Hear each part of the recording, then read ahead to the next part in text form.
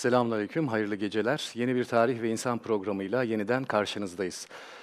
Yine her zaman olduğu gibi değerli izleyenlerimiz bizleri sizlerle buluşturan Yüce Rabbimize sonsuz şükürlerimiz ve sonsuz teşekkürlerimiz olsun. Yine güzel bir konuyla ekranlardayız. Ee, bu akşam Orhan Gazi'yi konuşacağız. Tabii ki daimi konuğumuz Profesör Doktor Ahmet Şimşirgil hocamızla beraber. Konuyla ilişkin sorularınızı bekliyoruz. Tarih ve insan etiketiyle Twitter'dan bizlere sorularınızı gönderiyorsunuz. İkinci bölümde de sizlerden gelen soruları yine değerli hocama soracağım ve cevaplarını alacağız. Ve soru gönderen 3 e, nasipli izleyicilerimizin arasında e, yine hocamızın kaleminden çıkmış değerli kitaplardan armağan etmeyi düşünüyoruz. Ekranları başında bizleri seyreden siz değerli izleyenlerimiz ve hocamız hoş geldiniz. Hoş bulduk Mustafa Bey. Nasılsınız, iyisiniz? Elhamdülillah. Teşekkür ederiz. İyiyiz. Daim olsun inşallah. Sıhhatteyiz. Cenab-ı Hakk'a hamdü senalar olsun. Maşallah diyelim hocam. İzleyicilerimizle buluşuyoruz. Hepsine de ben iyi akşamlar diliyorum. Evet. Bazen Haftanın- konferanslarda, Evet. bazen Lale Gül'de. Evet. Böyle muhabbete Diğer devam. e, televizyon kanallarında da canlı yayınlar Evet, yapıyorsunuz canlı hocam. Oldukça da. yoğunsunuz maşallah. Bir de bu yoğunluğun yoğunuz. arasında e, konferanslara e, çağrıldığınız yerlere Evet. gidiyorsunuz. Geçtiğimiz hafta e, Bursa, yine Gebze, Valla milletin duasını alınca galiba dinç kalıyoruz Mustafa maşallah diyoruz hocam. Elhamdülillah. E, izleyicilerimizden de dualarını bekliyoruz tabii Evet, ki bu inşallah. hızlı tempoya. Allah razı Ee, olsun hepsinden. Amin. Size de çok selam getiriyoruz. Ve aleyküm selam Lale getirenler, Gül'e getirenler. muhabbetlerini bildiriyorlar. Allah razı olsunlar. Amin. Amin cümlemizden. E, hocam Bursa, Tuzla, Gebze ve İnegöl'deydiniz geçtiğimiz hafta. Evet, Konya'ya gidemedik sis dolayısıyla. Öyle mi? En son Konya'ya gidecektik. Konya Meram'da bir konferansımız vardı. Ona da maalesef uçağa girdik. Havalanına gittik sabah. Baktık iptal olmuş. Nasip Nasip inşallah. inşallah, ileride. İnşallah. Peki bu hafta e, var mı hocam? Bu hafta Kayseri var. İnşallah Perşembe günü akşam Kayseri'de olacağım. Cuma Güngören'de bir konferansımız olacak. Ve pazar günü de inşallah Balıkesir. Balıkesir'e. Balıkesir'e gideceğiz. Bizlerden de çok selam götürürsünüz inşallah. İnşallah, inşallah. hocam. Evet. Ee, değerli izleyenlerimiz dediğimiz gibi Twitter'dan bizlere soru gönderen 3 izleyicimizin e, nasipli izleyicimize yine Profesör Doktor Ahmet Şimşirgil hocamızdan e, kaleminden çıkmış e, güzel kitapları armağan etmeyi düşünüyoruz. İkinci bölümde inşallah e, sorularınızı hocamıza yansıtacağım. Hocam e, hemen başlayalım dilerseniz. E, Orhan Gazi'yi şöyle bir e, tanıyalım. Bey seçilmesini e, sizden duyalım.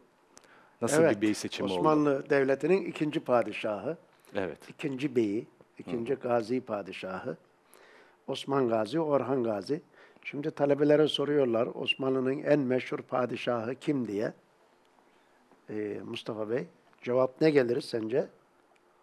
Bakalım bir şey yap. Osmanlı'nın en büyük padişahı kim diye. Hani ortaokulda. Yani Osman Talebelere- Gazi olarak hocam ilk e, kurucusu olarak bilinir. Evet. En büyük padişahı kim deyince talebelerden ne gelir? Kanuni gelir, Yavuz Sultan Süleyman gelir, e, Orhan Gazi gelir. Şimdi liselerde anket yapılsa Ertuğrul Bey geliyor. O da tabii diziden dolayı değil mi? Evet. Ertuğrul Gazi geliyor. Şimdi öyle işte dizilerin de bu kadar etkisi var. Yani Var, bu kadar var, önemli. evet hocam. 36 Azımsanmayacak kadar çok. içinde yok ama Hı hı. dizilerin de tarihin de ne kadar önemli olduğunu işte Evet. buradan anlaşılıyor. Şimdi hani ikinci padişah dedik. Ertuğrul'u başlatmış olsak üçüncü padişah diyeceğiz. Orhan Gazi Osmanlı'nın ikinci padişahı. Şimdi devlet kurucu olduğu için Osman Gazi, Orhan Gazi'nin seçilmesi yani baba ölünce sistemin yürüyüşü çok önemli. Evet. Yani burası çok mühimdi. Kim bey olacak, kim bey seçilecek. Şimdi Osman Gazi kurucu bey, kendisi kurdu. İşin başına babası vefat edince onu seçtiler. Aşiretin beyi diye seçildi. Yani bir devlet başkanı diye seçilmedi. Evet. Fakat e, kendisi bunu bir beylik, bir devlet haline getirmiş oldu. İlan etti, saltanatını ilan etti. Adına hutbe bastırdı, para, sikke kestirdi. Ve böylece devlet başkanı olduğunu, devlet kurduğunu resmen e, bağımsızlığını ifade etmiş oldu. Şimdi ama bundan sonraki seçim çok önemli. Eski Türklerde malumunuz devlet bölünüyor. Yani ikiye bölünüyor, üçe bölünüyor. Kardeşlerin bir kısmı bir tarafa alıyor, bir kısmı bir yerde idare ediyor. Ne olacak Osmanlılarda? Hep böyle mi? Eski gelenek devam edecek?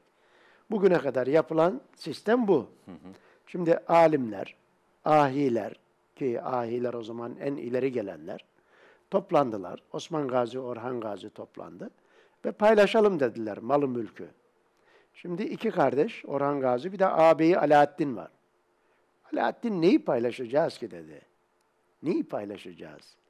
Yani ne var ki neyi paylaşalım? Sonra bir ile bir çoban gerek dedi. Bu pay götürmez. O zaman Orhan Gazi tabii kardeşlik hukuku olarak yerinde bir söz söyledi. Dedi ki o zaman bu çoban sen ol. Yani işin başına sen geç. Ben sana yardımcı olayım. Alaaddin bu sözü söylerken kendi için söylemediğini göstermiş oldu. Hani bir kendini düşünür. Bu da kardeşim bana verir. Niye bölelim? Hani bu kendini ama şu sözü söylerken bu çok mühim işte kendini düşünmediğini ortaya koydu. Dedi ki babam kendi hayatındayken beyliğe e, işlerin başına seni seçti. Dolayısıyla sen daha layıksın. Osman Gazi savaşlara çıkamadığı zaman e, ordunun başına, askerinin başına Orhan Bey'i koymuştu. O gidiyordu. Hı hı. Bu sebeple dedi sen daha layıksın. Babam seni seçti. Öyleyse sen olacaksın dedi. e şimdi bizde bilirsin Anadolu'da abi sözü baba sözü gibidir. Peki. Yani peki dedi Orhan Gazi'nin artık yapacak bir şey yok. Çünkü teklif etti, almadı ve onu söyledi. Peki işte davarları paylaşalım dediler. E bunlar beye lazım dedi. Ziyafet çekeceksin. Bey yedirecek, içirecek. E tarlaları e bunlar da beye lazım. İkta vereceksin, timar vereceksin. Hep beye lazım. Hiçbir yerin gelirini ona veremedi. Bunun üzerine e, sadece bir köyün gelirini ona bağışlamış oldu. Ve böylece Osmanlılarda birlik prensibi ortaya çıktı Mustafa Bey. Yani bir olma, beraber olma, devleti bölmeme. Aslında biz buna yüce devlet tasavvuru diyebiliriz yani. Devleti bölmeme, devleti parçalamama, devleti bütün kılma. Biz e, baba öldüğünde veya babanın hayatı esnasında oğulları arasında devlet hep bölünürdü. Ve baba öldüğü zaman en az 50 sene kardeş kavgaları sürerdi. Ve bundan da devlet çok zayıf bir hale gelirdi. Yani sonunda çok güçlü birisi bazen devleti yeniden yüceltir ama bu defa da o bölerdi oğulları arasında. Yani 50 yıl devleti yeniden zinde tutabilmek için çalışıyor. Hı hı. Birlik beraberliği sağlamak için çalışıyor. Ama bu 50 yıl içerisinde doğan çocukları 20-25 yaşına geliyor. Evet. Kendisi 60 yaşında oluyor bu defa. Tam birliği, beraberliği sağlamış. Huh diyecek. Bu defa kendi oğullarına pay ediyor. Onun başlıyor. E devlet iki defa bunu kaldırabilir mi? İkinci de, üçüncü de yıkılıyor devlet. Evet. Ya bizim Türk devletlerinin için en büyük talihsiz ve bahtsızlığıdır bu. Hı hı. O sebeple bunu Orhan Gazi işte zamanında ve tahta çıkışında Osmanlılar bunu kaldırmış oluyorlar. Osmanlıların uzun süreli olması, devamlı olması, güçlü olması, kudretli olması, dünyanın bir numaralı devleti olması aslında bu hadiseye bağlıdır. Temelde bu var. Temelde bu var. Birlik prensibi. Hı hı. Bir padişah, bir kişi ve ona bağlılık, ona tabiyet. Tek lider. Peki, evet. Elbette ki onun istişare kurulu var. Yani onun her ağzından çıkan e, devlet şeyi değil. Hı hı. Onun e, neticede istişare kuralı var, kurulu var. Onlarla istişare eder, danışır, meşveret eder. Ama asıl olan budur. Hı hı. İşte bu meşhur bizim kardeş katli evet. şeyini de yerleştiren sistem olacaktır. Bu sistemin banisi de Alaaddin Paşa'dır. Yani Alaaddin Bey, Orhan Osman Gazi'nin diğer oğlu Alaaddin Bey. Gerçekten çok takdire şayan, çok ileri görüşlü, çok e, iyi düşünceli, yani devlet tasavvuru olan demek ki bir şehzade olduğunu ortaya koyuyor. iyi yetişmiş. Bunu ikincisi de feragat ehli. Yani hiç kimse feragat edemez. Bugün babasından kalma arsalardan hiç kimse bir diğerinin adına feragat etmez kolay kolay. Bu da onlara düşen bir hak. Mülkü mevrus diyoruz buna. Yani babasından verasetle intikal etmiş bir mülk. Evet. Nasıl ki sizlerin şeyi varsa bizlerin babamız vefatında işte onun e, mirasından pay hakkımız varsa onların da böyle bir hakkı var. Ve bunu bir tarafa koyup, bundan feragat edip, e, nefsini yenip, e, hani onun bir tasavvufi, bir tasavvuf büyüğü olur, alimi olur. Anlayabiliriz bunu. Böyle biri değil, neticede bir beyoğlu. Devleti idare etmek için yetiştirilen bir insan. Onun böyle bir noktaya geçmiş olması, dönmüş olması gerçekten bizim Türk ve İslam tarihi için bir dönüm noktası olmuştur. Çok takdire şayan bir kişiliği vardır. Bazen hani isim aranır böyle. Her yere Fatih'in ismini, Yavuz'un, Kanuni'nin ismini, her yere onların isimlerini veririz. Bazen böyle tarihimizin önemli simalarının isimlerini de vermek lazım. Yani Osmanlı'nın temelinde o birlik ve beraberliği yerleştiren adamdır. Bugün birlik ve beraberlik olmadığı zaman bir ülkelerin sonu oluyor, milletlerin Maalesef. sonu oluyor, vatanımızın, devletimizin sonu oluyor. Onun için bunların bu yönlerini de millete verebilmemiz lazım Mustafa Bey. Aynen öyle. Peki e, Osman Bey hocam e, gazaya, fetihlere e, çıktığı zaman genelde Orhan Bey'i mi bırakırdı vekaleten yerine? Alaaddin Bey hiç e, kalmış mıdır? Yok. Alaaddin Bey'i seferlerde görmüyoruz açıkçası. Hı hı. Mesela bugün Orhaneli var. Değil mi? hı, Orhaneli. Bursa'ya yakın. Orayı e, Şehzadeliği zamanında aldı Orhan Gazi. Orhaneli'ni. Yani Osman Gazi'nin son 10 senesinde e, orduların başında Orhan Gazi var. Ve bütün Fethi hareketini Orhan Gazi yönlendiriyor. Onun için de e, Alaaddin çok yerinde bir şeyle babam seni seçti, seni gönderdi, senin işin başında olman lazım diye ona söylüyor. E, Tabi burada belki padişahların bir veliaht, eskiden Selçuklu'da da vardır bu. Evet. Veliaht gösterme gibi birisini ön plana çıkartırlar. Bu bir noktada babanın işte tavrı bunun üzerindedir. Onun üzerindedir. Belki o bir takım meziyetleriyle, bir takım e, şahsiyetiyle, özellikleriyle öne de çıkabilir. Yani baba bunları sezer, anlar ve onu işin başına getirir. Değil mi? Bazen Birçok alanda bilgi sahibi olması gerekiyor. Evet. İşte iyi ata binecek, iyi silah iyi kullanacak. silah kullanacak. Tabii. İyi ata binecek. ilim ehli Kardeşlerin olacak. arasında. Adil olacak. Evet. Cesur olacak. Cesaretli olacak.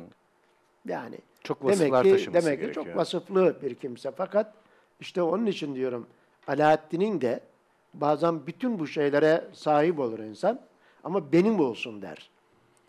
Yani Evet. böyle üç kişi, üçü de benim olsun der. Alaaddin'in de bırakabilmesi Orhan Gazi'nin bütün bütün meziyetlerine eş değer bir meziyettir.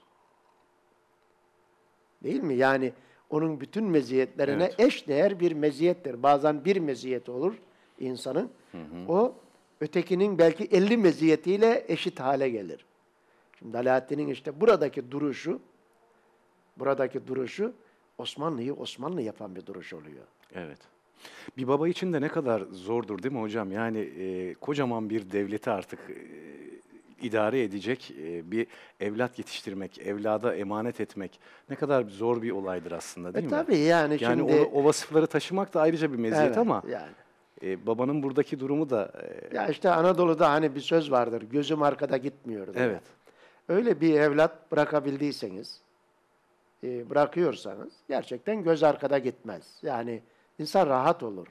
Bir de düşünün dediğiniz gibi büyük bir devlet bırakıyorsun. Evet. Millet bırakıyorsun. Sizi herkes kabul etmiş. Siz yıllarca belki bunun çilesini çekmişsiniz. İnsanlar sizi tanıyor ama oğullarınızı tanıyacak mı? Üç oğlunuz arasında bölünecek mi? Her biri bir tarafa çekecek mi? Devlet parçalanacak mı? Bir baba için, ya böyle bir baba için, bir devlet sahibi baba için Evet. herhalde çok e, ince düşünceli. Bırakıp gidiyor çünkü ve o devleti gözü gibi korumuş, o milleti e, kendi gibi sevmiş ve onun dirliği için hayatını vermiş, ömrünü vermiş. Ama hayatındayken böyle bir denemeler yapılmıştır değil mi hocam? Yani bu vasıfları ta- taşıyor mu, kaldırabilecek mi, o yükü sırtlanacak mı diye bir baba herhalde bir gözlem yapmıştır Tabii ama yani. her baba yapmıyor işte. bazısı e, çok sevdiği bir hanımının yüzünden en Evet. beceriksiz bir oğlanı tutabiliyor. Değil mi? Veya çok iyi bir şehzadeyi tutmayabiliyor. Yani bazısı hanımının şeyine gidiyor. Bazen kalbi bir evladına meyilli olabiliyor. Bilemiyorsunuz bunları da. Bazen çok e, insana yanlış yaptıran hususiyetler de ortaya çıkabiliyor. Muhakkak. Evet. Yani sağdan soldan etkilenmeler bu da söz konusu. Muhakkak. Sizi kendi halinize bazen bırakmıyorlar. Evet. Peki hocam katıldığı fetihlerden de bahsedelim. Ee, bu fetihlerdeki başarılardan da bahsedelim. Ee, Orhan Gazi'nin. Hangi fetihlere Orhan Gazi- katılmıştı? Babasının son 10 yılında e, tabii faaliyetlerde bulundu. İyi bir silahşör, çok iyi bir savaşçı, orduları iyi yönetiyor. Babasının sistemini iyi biliyor. Ve hemen hemen e, Marmara'nın şey kıyılarını, e, Anadolu kıyılarını tamamen o yöne doğru yöneliyor. Bursa'yı işte Osman Gazi'nin tam vefat etme sırasında düşürüyor. E, ve Osman Gazi'nin vefatından hemen sonra alındı diyenler var. Vefatından önce alındı diyenler var. Tarih orada biraz e, şey diyor. Yani e, farklı görüşler var. Muhtemelen Bursa'nın alınışı sırasında e, Osman Gazi vefat etti. Zaten tam düşme esnasıydı. Oğluna beni şu gümüşlü kümbete defnedersin diye yerini falan gösteriyor. Yerini belirliyor. Oraya bir şeyi var orada Bizans'ın belki böyle güneş çarptığı zaman parlayan bir kümbet gibi bir şey var. Beni şuraya defnedersin diye orayı işaret ediyor. Ve babasını oraya defnettirecektir. Tarihler tam Osman Gazi'nin vefatı sırasında alındığını ifade ediyorlar. Bazıları erken vefat etti, belki Söğüt'e defnedilip sonra oraya taşındı diye ifade edenler de var. Ee, dolayısıyla şeyin Orhan Gazi'nin aslında o 10 senede tam Osman Gazi'nin vefatı esnasında taçlandırdığı bir Bursa fethi var. Bu çok önemlidir tabii onun için. Os- İlk Orhan fethi Gazi'nin Bursa mı Tabii oluyor? Bursa'dır. Ee, bazıları Osman Gazi'ye de bunu atfedebilir. Ama e, genelde bugün kabul edilen Orhan Gazi'nin fethettiğidir. Zaten orduları Orhan Gazi yönlendiriyordu. Ee, dolayısıyla Orhan Gazi'nin ilk fethidir hemen hemen. Akabinde e, belli bir fethi, bu fethi İznik, İzmit e, yönüne Aydos yani İstanbul'a doğru yönelen bir şey vardır. Fetih hareketi vardır. Bu da Osmanlı'nın yönünün, hedefinin ne olduğunu gösteriyor. açıkçası bir noktada net göstermiş oluyor. Bir taraftan işte İznik'i kendisine hedef alıyor. Tabi İznik çok ciddi bir yer, önemli bir yer. İznik e, Selçuklu'nun merkeziydi. E, 1595'te, 96'da Anadolu Selçukluları İznik'i başkent yaptılar. Yani bir anlamda işte İstanbul'a e, şöyle bir ok atımı mesafe gibi Evet. yaklaşmışlardı e, Anadolu Selçukluları. Fakat bu şeyi koruyamadılar tabii. Bilahare İznik'ten çıkartıldılar. Şimdi Orhan Gazi işte İznik'i, İzmit'i, Aydos'u ve e, Üsküdar'a doğru yönelen bir hareketin içerisinde. Buna Bizans İmparatoru 3. Andronikos büyük bir kuvvetle geliyor. E, Pelakanon civarında müthiş bir savaş yapacaklar. Pelakanon. Bugün Darıca ile Eskihisar. Darıca ile Eskihisar o e, şey Feribot. seferlerinin, feribot seferlerinin olduğu yer. E, orada çok büyük bir savaş oluyor. Ve 3. Andronikos, Bizans İmparatoru ağır bir bozguna uğratılıyor. Şimdi böylece e, İznik yolu şeylere açılmış oluyor. Artık bir gücü de yok. Ve İznik'i kısa bir süre içerisinde 1331'de zapt ediyorlar Osmanlılar. Ardından Gemlik, Gemlik alınıyor 1333'te. 1337'de de en büyük yine fetihlerden biri İzmit, Kocaeli. O bölgeler fethediliyor. Burada e, Osman Gazi'nin var- e, silah arkadaşları, Akçakoca, e, Turgut Alp. Turgut Alp biraz daha çekilmiş vaziyette. Artık yaşlandı. Karamürsel. Yani o şey Akıncı Beyleri gibi olan komutanların da çok büyük rolleri var. Onlar da bu fetihlere e, aynen iştirak ediyorlar. Ve neticede Gemlik, Aydos, İzmit, İznik gibi kaleler e, şöyle Osman Gazi, e, Orhan Gazi'nin tahta çıkışından bir 10 sene içerisinde bu büyük yerler fethediliyor. Ya bu çok önemlidir. Şimdi e, Osman Gazi zamanında bir Bilecik önemli olarak hani ele geçen bir yer. İşte Söğüt'te başlayıp Bilecik, Yarhisar, Mekece falan bir kısım kaleler var. Ve vefatı sırasında Bursa ve ondan sonra da Selçuklu'nun, Anadolu Selçuklu'nun merkezi olmuş bir İznik, bir İzmit, buraların fetihlere dahil olması yani Osmanlı'yı bir anda güçlü şehirlere hakim bir devlet vasfını veriyor. Bu çok önemli. Yani Orhan Gazi ilk 10 senesi içerisinde gerçek bir devlet şahsiyeti kazandırıyor Osmanlı'ya. Bu çok mühim. Marmara'nın doğusundan yani doğuya e, yakın kıyılardan başlanıyor. Kuzeye doğru yavaş yavaş İzmit'e, Kocaeli'ne, Gebze'ye kadar Üsküdar'a geliniyor. doğru ilerliyor. Üsküdar'a Bu doğru. taraftan. Yani Hala Anadolu'da ama Avrupa'ya daha geçiş yok. Avrupa'ya daha geçiş yok. Avrupa'dan Evet. sonra da yavaş yavaş Rumeli'ye doğru geçiyor herhalde. Evet. Rumeli'ye geçişini de e, biraz dinlemek isteriz Şimdi hocam. Rumeli'ye geçişi e, önce bir ondan önce e, önemli bir hadise var Osmanlılar için. E, Karesi Beyliği'nin zaptı var. Zaten Karesi Beyliği'nin fethedilmesi Rumeli'ye geçişin ilk adımı gibi olacak. Karesi Beyliği bugünkü e, Balıkesir, Manyas o bölgede Karesioğulları Beyliği var. E, şimdi Karesioğulları Beyliği'nde taht mücadelesi var. Bu taht mücadelesi sırasında Dursun Bey ağabeyi tarafından öldürülüyor. O da Osman Orhan Gazi Osmanlılara bağlıydı. Bunun üzerine çok üzülüyor Orhan Gazi ve üzerine yürüyor buranın. Çünkü kendisine bağlı olan, kendisine tabi olan bir beyin öldürülmesini müsaade etmiyor ve Karesi Beyliğini Osmanlı'ya katıyor. Şimdi Karesi Beyliği'nin Osmanlı'ya katılması Osmanlı için çok önemli bir e, vasıftır. E, çok önemli bir e, gerçekten baht Stratejik açıdan olmuştur. Önemli etki edecektir devletin büyümesine. Aslında burada şunu da söylemek lazım. İşte gücün birleşmesinin e, ne kadar önemli olduğunu biz buradan anlıyoruz. Yani şimdi Osmanlı Beyliği işte İnegöl, İznik, İzmit, Bursa falan bir beylik düşünelim. E, Karası Beyliği de Balıkesir, Balıkesir. işte Manyas ve çevresinden ibaret bir beylik olarak düşünelim. E, Şimdi bu ikisi ayrı ayrı beylik olduğu zaman ortaya bir sinerji çıkmıyor. Evet. Bir güç çıkmıyor. Bölünmüş, işte birbiriyle mücadele eden, birbiriyle çekişen, oturup anlaşan bir şey ortaya çıkıyor.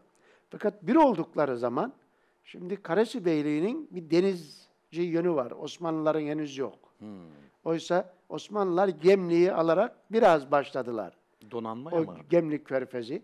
Gemliğin adı Gemilik'tir eski şeyi. He. Orada Bizans'ın küçük bir tersanesi bulunur. Onun için gemilik demişler. Gemiler var. Burayı alarak küçük bir e, gemi şeyiyle daha yeni tanışıyor. Oysa Karasioğulları ki Karasioğulları Adalar Denizi'ne var. denizciliği var. Yani karşıya gidiyorlar, geliyorlar. E, bu şeyi geçiyorlar. Çanakkale irtibatları var. Dolayısıyla onların e, denizci yönleri mevcut ve çok gerçekten kudretli beyleri var. Mesela bir e, Ece Bey, Ece Bey, Evranos Bey, onların en mühim şeyleri. Şimdi bu e, Karesi'nin bu meşhur ümerası Osmanlı hizmetine geçiyor. Osmanlı hizmetine geçiyor. E, dolayısıyla da gemileri, şeyleri tamamen Osmanlı hizmetinde olmaya başlıyor. Güç birleşiyor. Ve Süleyman Paşa'yı da e, Orhan Gazi Karesi emiri tayin ediyor. O bölgenin emiri tayin ediyor. Süleyman Paşa da çok namdar bir şey. Yani nasıl Osman Gazi Orhan Gazi'yi seçtiyse orduların başına, Orhan Gazi'yi de Süleyman. oğlu Süleyman Paşa'yı seçiyor. Süleyman Paşa ve Süleyman Paşa şimdi e, Karesi Ümerası'yla da birleşince, Karesi Beyliğini alınca bir taraftan zaten artık e, babası Üsküdar'a doğru Bizans olacak. Büyük bir devlet var. Ama ötede Çanakkale ve karşısı Rumeli. Rumeli'ye geçiş Hatta daha yakın oradan. daha yakın çok hemen Ve bir güç de yok kendilerine engel olacak. Ötede Bizans var. Bizans'ın bir e, donanması var. Fakat burada karşıya geçecek bir e, karşıya geçmesine mani olacak bir güç yok.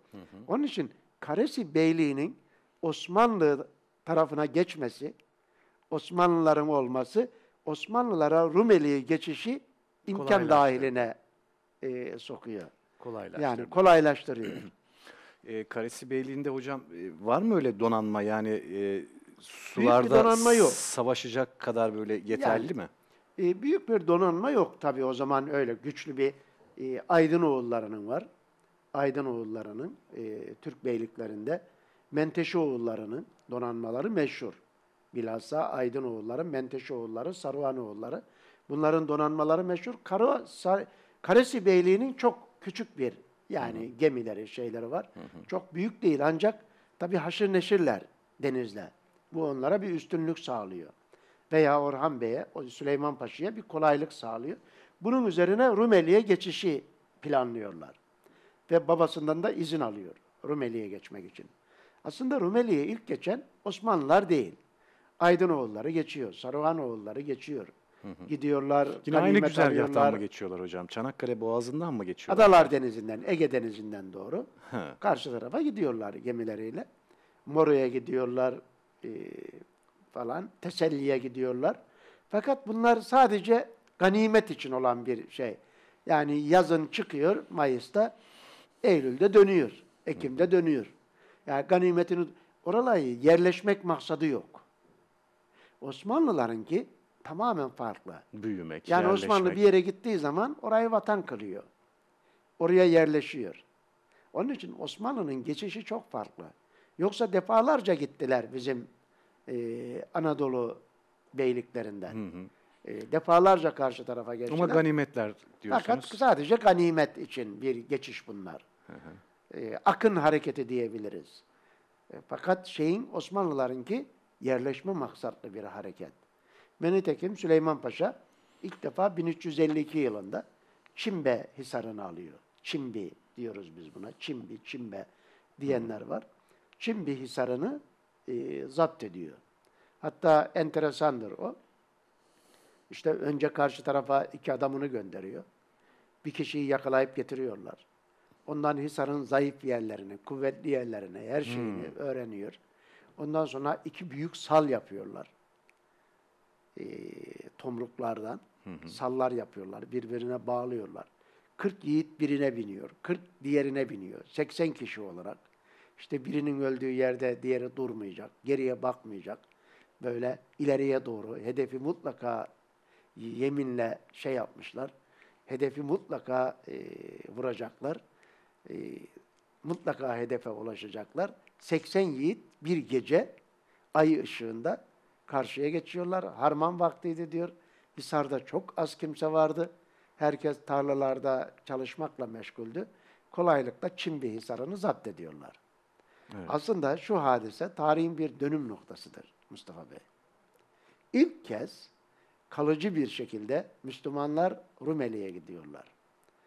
Buna yani şayet İstanbul'un fethi denmese ben çağ değiştiren olayı bunu söylerim. Yani kendimize göre bir çağlar Avrupalı bir çağ Evet. açıyor ya yani kendi sistemi eski orta çağ, yeni çağ, yakın çağ diye bu Avrupalının bir işte bölme meselesidir. Çağlara ayırma meselesidir. Yani bana böyle bir Türkiye'de çağları bölelim desek ben Rumeli'ye geçişi bir çağın değişimi olarak ifade ederdim. Çağ atlama. Bir çağ atlama, yeni bir çağı açma. Evet. Değil mi? Yani ilk kez Müslümanlar kalıcı bir şekilde Avrupa kıtasına ayak basıyor. Tam olarak nerede hocam Çimbi Kalesi? Çimbe Kalesi hemen tam Edincik'in şeyde Çanakkale'de Edincik, Aydıncık şey var. Biraz daha e, denizden şeye doğru geliyorsunuz. Çanakkale'den e, kuzeye doğru iniyorsunuz. Ve Edincik, Aydıncık onun tam karşı tarafına düşüyor. Çimbi Hisarı'da. Ya ben bunu ayırırdım açıkçası. Ee, Bir çağın kapatılıp yeni bir bir, çağın çağın kapa yani neden Çünkü gerçekten tarihin en önemli hadiselerinden birisi. Müslümanlar işte Asya kıtasında değil mi? Yani Asya kıtasında Afrika kıtasına geçmişler. Asya, Afrika ve Avrupa- ilk defa olarak Avrupa'ya geçiş. İslamiyet geçiyor. Evet. İslamiyet'in Avrupa'da başlangıç yönüdür. Çağları ayıracak olsam ben bu Avrupa'ya geçişi tarihin en önemli sayfalarından biri olarak yazarım. Maalesef bunu bizim tarihçilerimiz bugün fetih diye de kabul etmiyor. Öyle mi? Tabii yani bunu güya 80 Osmanlılar yiğitle olmaz mı yani? Osmanlılar Bizans'ta taht mücadelelerine karışıyorlar. İşte e, Kantakuzeni, Andronikos arasındaki mücadeleye karışıyorlar. Kantakuzen'e yardım ediyor bizimkiler. Kantakuzen de burayı üs olarak bizimkilere vermiş. Bizimkiler de bir daha çıkmamış. O şekilde. Bu şekilde bunu Kantakuzen tarihi yazıyor. Son 20 yıla kadar bu benim anlattığım gibi anlatılırdı. Bütün Osmanlı tarihleri de bunu fetih kabul ederdi. Fakat son 20 yıldır bizim bir kısım tarihçilerimiz, Halil İnalcık da dahil, işte böyle bir olayın olmadığını, Allah. Kantaküzen'in onlara verdiğini, halbuki Avrupalı tarihçiler bile Kantaküzen tarihine inanmıyor. Kantaküzen kendi taç giydiği tarihi bile yanlış yazan bir adam diyorlar. Ve bu konuda bizim tarihleri kabul ediyorlar. Osmanlılar orayı fethetti.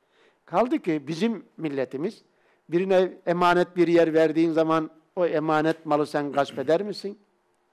Olur mu hiç öyle şey He? hocam? Olur mu? Yani e, Mustafa Bey'in bile olur mu dediği şeyi Süleyman Paşa Orhan Bey mi yapacak? Yani. Değil mi? Bazen Aynen bazen öyle. böyle düşünmek lazım. Ya Evet. o kişiler mi yapacak? Vay işte emanet verdi biz burayı kapalım. Yapmaz kardeşim ya. Yapmaz bunu. Bütün Osmanlı tarihleri bunu bir fetih olarak ve bunu Batılılar da bir fetih olarak kabul ediyor. Muhteşem bir şey hocam. Yani Evet. 80 tane yiğitle e, koskoca bir kalenin alınması ve kale, kalenin alınması da e, çok planlı aslında. Çok da güzel bir e, Evet. durumla. Ve İşte bunu çok şey olarak anlatırlar. Tarihler bunu öyle güzel anlatırlar ki.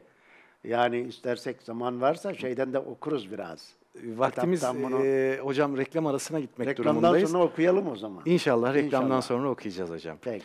Değerli izleyenlerimiz ikinci bölümde sizlerden gelen soruları yine Profesör Doktor Ahmet Şimşirgil hocama soracağım. Ee, Twitter üzerinden tarih ve insan etiketiyle bizlere sorularınızı gönderebilirsiniz. Kısa bir ara sonrasında buradayız inşallah.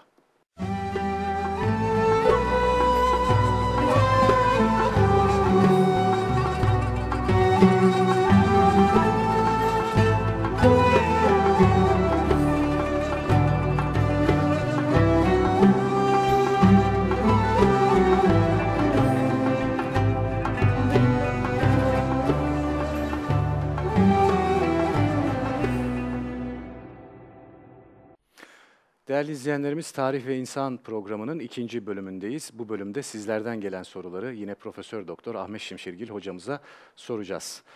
Ee, hocam ilk sorumuzla dilerseniz başlayalım. Fatih Bey'in e, sorusu Fatih Tongurlarlı beyefendinin. İlk para Orhan Gazi e, Han zamanında mı basılmıştır diye sormuş. Şimdi e, kaynaklarda e, Orhan Gazi zamanında e, basıldığı e, söyleniyor. Yani ilk sikkenin onun zamanında kestirildiği, ilk paranın onun zamanında basıldığı. Hatta e, yine e, ağabeyi Alaaddin'in gelerek bunu kendisine tavsiye ettiği yönünde e, şeyler var, kayıtlar var. Şimdi Osman Gazi'yi şunu net bir şekilde biliyoruz. E, adına hutbe okuttu ve e, devletinin kuruluşunu ilan etti 1299'da. Bu Evet. kaynaklarda net bir bilgi. Fakat kaynaklar Osman Gazi'ye e, para bastırdığına dair hiçbir e, işaret vermiyorlar açıkçası. E, Osman Gazi'ye ait bir para bulunduğu söylendi. Fakat bu paranın da daha sonra sahte olduğu ifade edildi. Yani Osman Gazi'ye ait olmadığı bildirildi. Sahte olduğu söylendi. Ee, Kay- o- Orhan Gazi'ye ait 1327 tarihli para var. Yani bu bugün e, böyle bir para mevcut. Dolayısıyla para bir defa elimizde olduğu için bunu net söyleyebiliyoruz. İkincisi kaynaklar da bunu söylüyor. Orhan Gazi kendi adına ilk defa devlet adına para bastırdı. Hatta bu paranın bir yüzünde Orhan bin Osman, Orhan bin Osman ve e, tarih var, basıldığı tarih. Diğer yüzünde kayı damgası var. Yani aslında Osmanlı'nın kayılardan mı geldiğini, hani bazısı işte kayılardan değildir, e, kayı boyuna ait değildir Osmanlılar. E, Orhan Gazi'nin parası var. Parada kayı ispatlıyor. damgası var. İspatlıyor değil mi hocam? İspatlıyor tabii. yani dolayısıyla o noktayı da silip atıyor öyle bir yanlışı. Para var çünkü mevcut. Ee, dolayısıyla biz bugün itibariyle ilk parayı e, Orhan Gazi'nin kestirdiğini söyleyebiliriz. Evet. Bir diğer sorumuz Yalçın Kutlu Beyefendi sormuşlar hocam. Ee, manevi hocası kimdi? Ee, Sakarya'ya da ayrıca davet ediliyorsunuz. Bu arada hemen ilk bölümü bitirirken e, bir yarım kalan bir konumuz vardı. Onu da alabilir miyiz sizden? Okumak olarak mı Evet, öyle mi? hocam. İzleyicimiz mi soruyor yoksa? Evet. Evet hocam. Ee, Sakarya'ya da davet ediliyorsunuz. Bu İnşallah- tempoda inşallah gidersiniz. İnşallah e, gideriz bu yoğunlukta diyelim. E, Sakarya. Şimdi e, Dursun Paka. Evet. Osman Gazi'nin e, aynı zamanda okul arkadaşı şey Edebali'nin e, şey Edebali'nin e, talebesi. Talebeleri. Osmanlı'nın ilk Şeyhülislam'ı gibi kabul edilir. Aynı zamanda Orhan Gazi'nin hocası Dursun Fakı. En önemli. Şimdi şeyden şöyle kısaca o kısmı okuyayım dedim. Süleyman Gazi'nin de, şey, derhal iki büyük sal yapıldı. Süleyman Paşa ile Aksungur, Kara Timurtaş, Kara Hasanoğlu, Balabancık gibi yiğitlerin bulunduğu 40 kişi bir sala, Hacı İlbey'i, Ece Bey, Gazi Fazıl ve Evranos Beylerin içinde bulunduğu 40 kişi diğer sala bindiler. Süleyman Gazi'nin iş başa düşünce dönüp kaçmayacak, birinin öldüğü yerde diğerlerinin de ölünceye kadar çarpışacak 80 serden geçti takımı karanlık bir gecede salları denize sürdüler. Müslümanlık nurunun rehberliğinde gece boyu yol aldılar. Yani onlara yolu gösteren de Müslümanlık nuru e, diye ifade ediyor. E, şeyi Hisar'a birden sahip olduktan sonra da şimdi Rumeli yakasında bayrak çekilmiş, tabılhane nevbet çalıyordu. Halk şaşkındı. Osmanlılar kimseyi incitmedikleri gibi herkese ihsanda bulunuyorlardı. Gemiler bir yandan gazileri Rumeli'ye taşıyor, hisarlar bir iki ele geçiyor, ezan sesi burçlarda dalgalanıyordu. Tarihin bu dönüm noktasını şairler de nice beyitlerle kuşaklar ötesine taşıdılar. Keramet gösterip halka suya seccade salmışsın, yakasın Rumeli'nin desti takva ile almışsın. Keramet gösterip halka suya seccade salmışsın. O 40 kişilik Evet. E, şey Salla salları beraber. seccade olarak görüyor. Halka bir keramet gösterip suya seccade salmışsın. Yakasın Rumeli'nin desti takva ile almışsın. O Rumeli'yi takva eliyle zapt etmişsin diye ifade ediyor. Bunu söyleyen e, Süleyman Çelebi'nin dedesidir Şeyh Mahmud. Bizim meşhur Mevlid'in yazarı Süleyman Çelebi'nin de dedesidir. Dedesi. Biliyorsun Süleyman Çelebi de e, Yıldırım Bayezid zamanında yaşadı. Rum eline geçmişiz. Bir, biz bir iki sal ile, himmeti merdan ile, gayıptan irsal ile. Gözlerimiz açılsın ahsenü amal ile. Allah'tan imdad umarız, merdi gazayız. Allah yoluna cism ile, can ile fedayız. Rum eline geçmişiz. Biz bir iki sal ile, himmeti merdan ile, gayıptan irsal ile. Yani o merdanların, yiğitlerin himmetiyle, gayip ordusunun da yardımıyla. Tabii ki yani Değil görünmeyen mi? Yani bak ordular. maddi ve manevi Evet. işte iki şeyi nasıl ifade ediyor? Gözlerimiz açılsın ahseni amal ile. Yani güzel hizmetlerle, güzel ibadetlerle de gözlerimiz açılsın, gönüllerimiz açılsın. Allah'tan imdat dileriz, merdi gazayız. Allah yoluna can ile, cism ile fedayız. Ne güzel anlatıyor mu şu gazilerin Mustafa Bey yani. Mükemmel hocam yani. Mükemmel, Mükemmel, ya. Bütün bunlar. Şimdi işte gel şu tarihi bu e, e, nesle öğretme. Bu millete Yani, öğretme. yani, yani. Şunları verme. Acaba şu Rumeli'ye geçişi bir destan gibi işte yazıp okutup anlatacaksın. O gençte bir heyecan olacak. Bir gayret olacak, din gayreti olacak. Devlet, vatan, millet, bayrak heyecanı olacak. Şuuru olacak. Bu böyle olur. Şimdi şu beyitleri ezberlese ne olur? Değil mi? Yani bir gencimiz ilkokulda, ilkokulun sonunda, ortaokulda şunları ezberlese ne güzel olmaz mı? Muhteşem olur hocam. İnşallah olur. Evet. Ee, aynı zamanda hemen söyleyelim. E, Kayı bir kitabından e, kaynak olarak okuyoruz değil mi hocam? Evet, Kayı bir kitabında. Yine hocamızın e, Kayı serisinden ilk ilki olan Kayı 1'de mevcut. Hocam diğer bir sorumuz Büşra Hanım sormuşlar. E, Orhan Bey döneminde devlet teşkilatındaki gelişmeler nelerdir? Hmm, çok güzel. Çay da içirmiyorsun Mustafa Bey. Efendim hocam? Çaydan da alamıyoruz diyorum. Şimdi Orhan Bey döneminde ilk teşkilat yapılarını biz Orhan Bey zamanında görmeye başlıyoruz. Mesela bunun bir tanesi az önce söyledik para bastırmak. Yani eee, sikke kestirmek ilk defa olarak para bir devlet için son derecede önemlidir bu. Onun devlet olduğunu net yansıtan hani bir hutbe gibi para bastırma eee, bu noktada ve devletin ekonomisini, gücünü gösteren bir hususiyettir. Eee, bu eee, özellikli. İkincisi asker. Artık şimdi o- Osman Gazi zamanında o e, küçük beylik bir anda e, Bursa, İznik, İzmit bir taraftan Rumeli'ye geçişi geçiyor. E, bir taraftan e, Üsküdar'a doğru yönelmiş.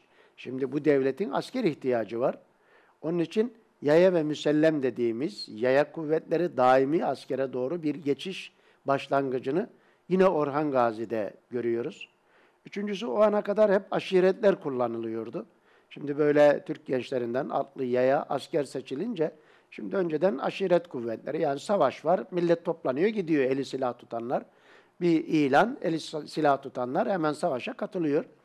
Ee, ve dolayısıyla insanlar giyim, kuşam herkesin farklı, herkesin işte e, değişik, herkes kıyafeti giydiği elbiseyle gidiyor. Yani e daha sonra bu kim asker kim değil.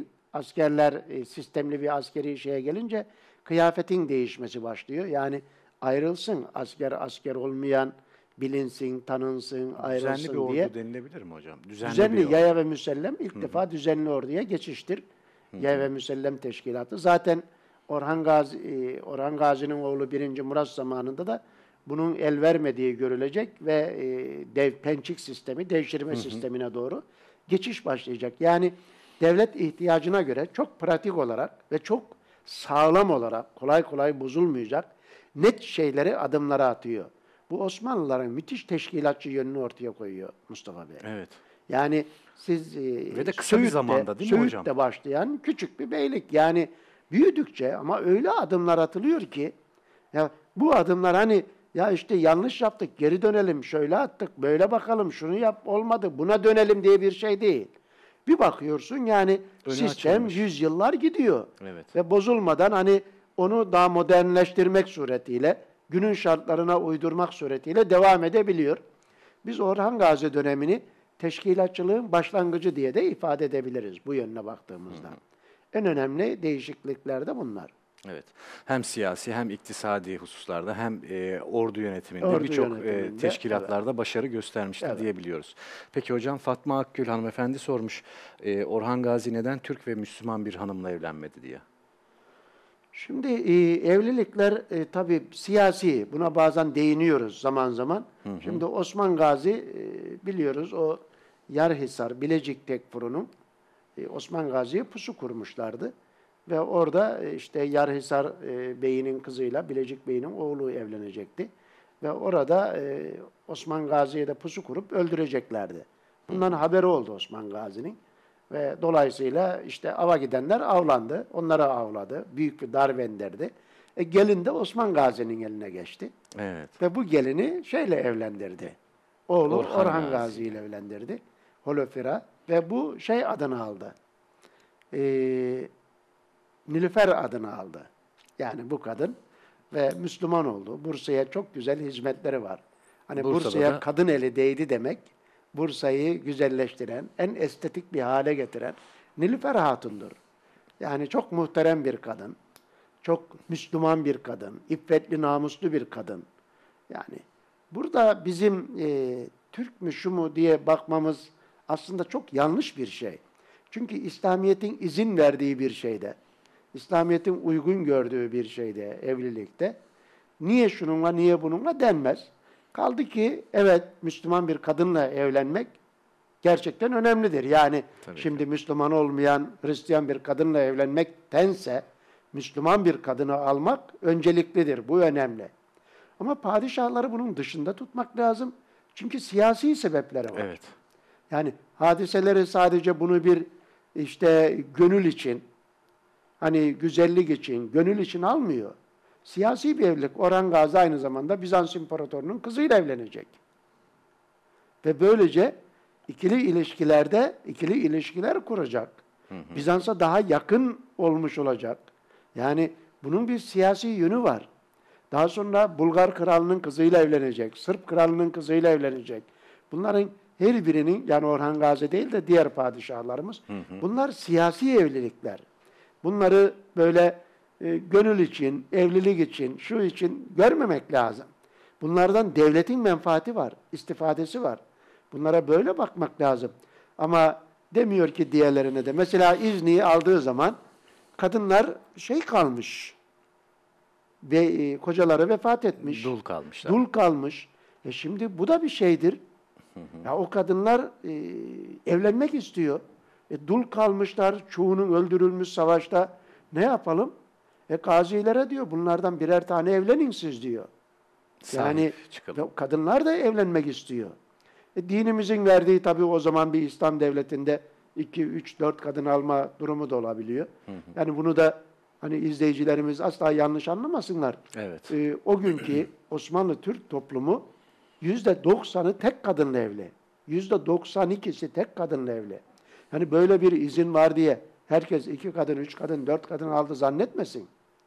Yüzde doksanının tek kadınla evli, evli olduğunu biliyoruz. Bu son derece önemli bir husus Mustafa Bey. Evet, evet. Zira orada bunun bir de şartları var. Öyle sadece iş evlendik bitti olmuyor yani.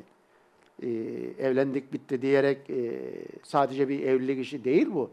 A- adaleti gözetmek var, e, haklarını gözetmek var, e, helalinden bakmak var. Yani bunlar basit işler değil ve bunları yapabilecek insan da yok. Öyle kolay bir husus değil. Ama o anın getirmiş olduğu, o anın getirmiş olduğu, bazen de ihtiyaç var. Bu her zaman değil.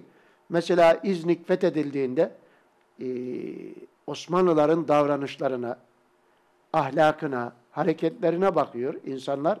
Ne olurdu bunlar bize eskiden beri bey olsalardılar diyor. Eskiden beri bunlar bize bey olsalardı. Ne olurdu? Yani o iyiliği, o güzelliği, o şefkati, o merhameti gördükleri zaman hayran kalıyorlar. E hemen bunlar Müslüman oluyorlar. Takvayla gittiklerine de bir örnek aslında hocam evet, söylediğiniz. aynen öyle. Evet. Ve çabucak o insanlar da Müslüman oluyor. Bunu o zamanın bugün düşünmemek gibi lazım yani. Tabii ki. O Bugünkü zamanı o gibi zamana göre zamanın değerlendirmek. şartlarını bilmeden hani neden böyle yani bugünkü şartlar gibi bir şartlar yok ortada. Evet. Yoksa hani Müslüman kadınları da ortada kaldı. Ya bunu evlenmediler de bununla evlendiler manası da çıkmaz. Zaten e, Müslümanlar yüzde 99 Türk kadınla evlenirler. Herkes vay işte padişahımız yabancı kadın aldı biz de yabancı kadın alalım deyip e, giden de yok yani. Böyle bir durum söz konusu değil. Bu tamamen siyasi bir evlilik e, olarak görmek lazım bunu. Evet. Ee, Can Balcı Beyefendi sormuşlar hocam. Ee, kuruluş dönemindeki şehzadeler arası iyi anlaşmayı, e, arası iyi anlaşmayı neden ileriki yıllarda göremiyoruz? İyi anlaşmayı neden ileriki yıllarda göremiyoruz? Ee, neden daha sonra taht kavgaları artıyor? Tabii demin Alaaddin Bey'i gerçekten övdük. Bir şeyin başlangıcını yaptı ve çekildi. Bunu herkesten beklemek mümkün değil. Yani Alaaddin Bey bunu ortaya koydu, yerleştirdi ve çekildi. Müthiş bir şey bu. Evet. Fakat hani bunu şu da niye yaptı, bu da niye yapmadı, hepsi bunu anlaşsa, gönül bunu istiyor. Ama bu kolay bir şey değil. Yani ben işte babamdan miras kaldı. Bütün e, kardeşlerime ben istemiyorum dedim, bıraktım.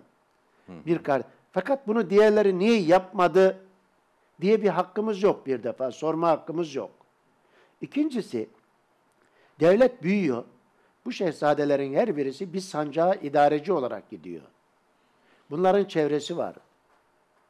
Bunların askerleri var, vezirleri var, lalaları var. Bunlar e, biri iş başına geldiği zaman bir şehzade, onlar da orada en önemli mevkilere gelecekler. Yani sen bıraksan bile çevren bırakmaz, bıraktırmaz. Böyle biraz kendini bağlayıcılık var. Sonra bunlar çok iyi yetişmişler. Hepsi hizmet et, etmek istiyorlar. E, bu benim hakkım, bu hizmeti ben yapayım diyor. Hizmette yarış. Yani böyle de bakabiliriz hadiseye. E, çok yönlü bakabiliriz. Onun için hani niye? Gönül bunu ister ama ya bunun gerçekleşmesi çok zor. Onun için de öldürmekte bulmuşlar kardeşleri. Tabii yani e, diğer padişahların kardeşleri de Alaaddin Bey gibi e, feragat sahibi olamaya da biliyor yani nihayetinde. Yani feragat sahibi, evet olması da çok zor. Evet. Hani şurada Beş siz- parmak. sizinle şurada iki kitabı ben size bir kitaptan vazgeçebilirim, verebilirim. Ama burada iki milyon varsa bir milyondan vazgeçemezsin. Evet.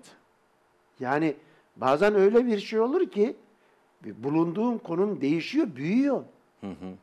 Bazı sen burada tek adamsın, vazgeçtin. Ötede etrafında binlerce adam var. Az önce söyledim.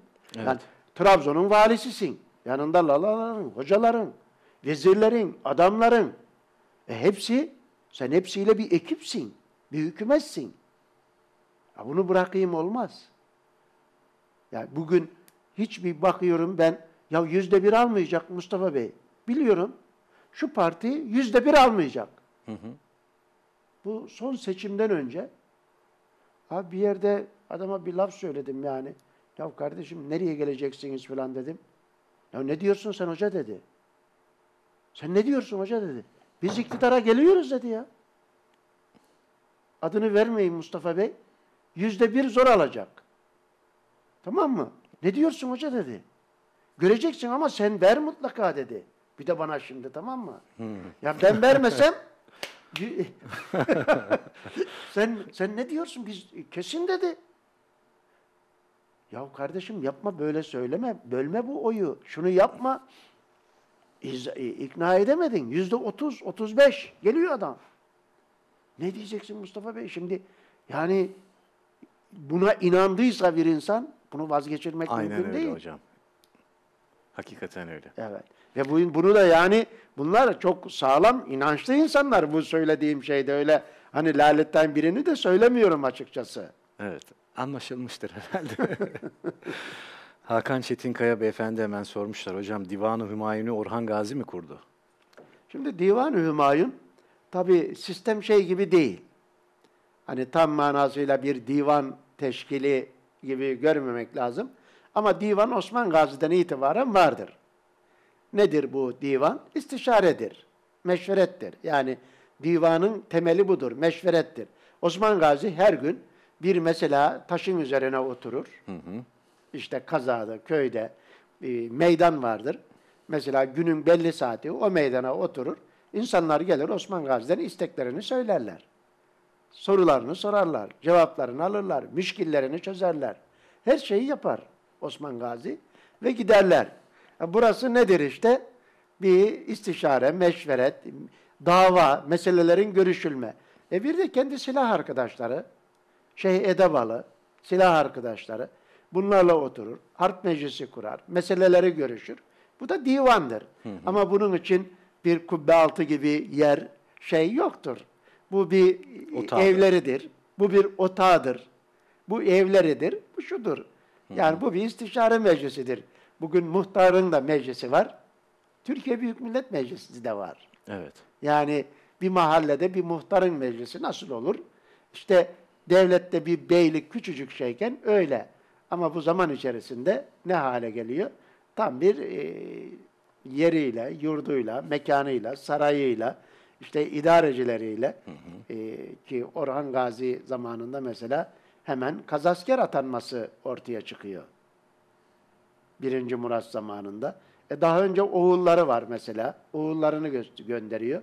Sonra oğullarını alıyorlar. Mesela birinci Murat'tan itibaren devlet adamları sadrazam gibi, vezir azam gibi vezir olmaya başlıyor. Şeyin başı olmaya başlıyor.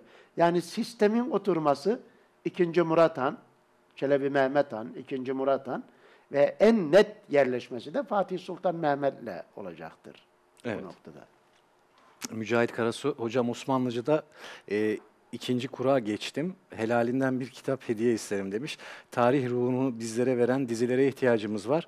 Tarih dizisi yapın izleyelim hocam demişler. Konya'ya da ayrıca bekliyorum Osmanlıca'da mı diyorlar. geçmiş? Evet.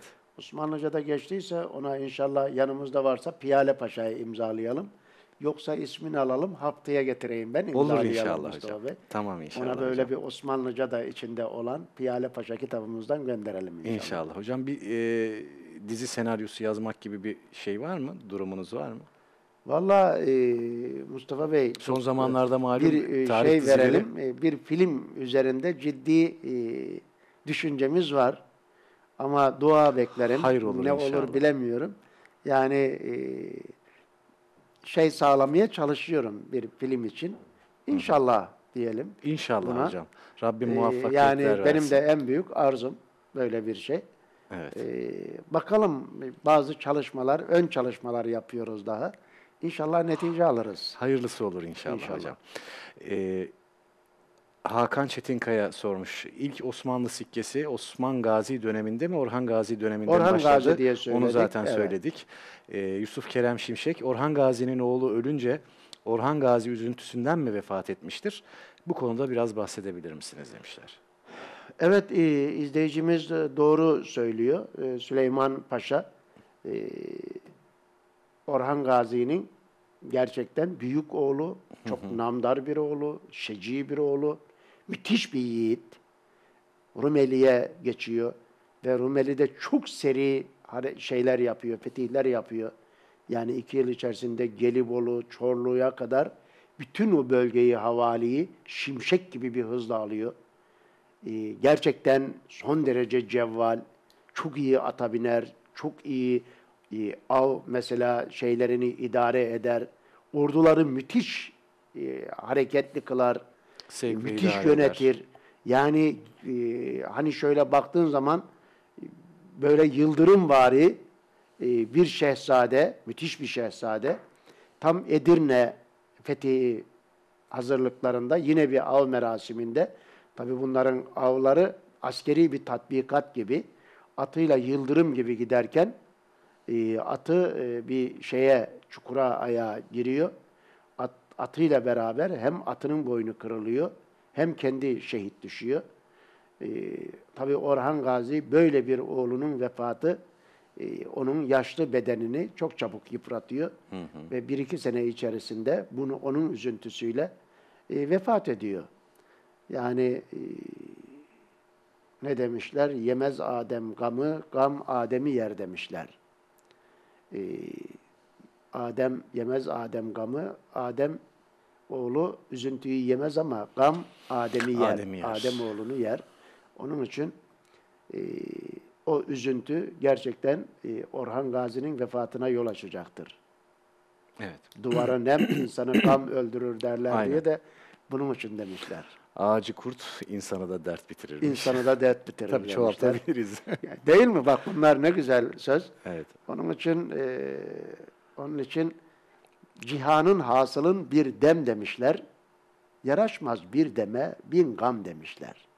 Şimdi bir de üzüntüden kurtaralım insanları Mustafa Bey. Evet. Hep dert üzerine. Dert insanı bitiriyor. Aynen öyle. Ee, işte dert öldürüyor. Dert dertlenmeme elde değil. Dünyada öyle dertler var, öyle sıkıntılar var ama cihanın hasılın bir dem demişler. Cihandan bütün elde edeceklerin bir dem, bir anlıktır. Yani şu cihanda sen anlıksın. Yaraşmaz bir deme bin gam demişler.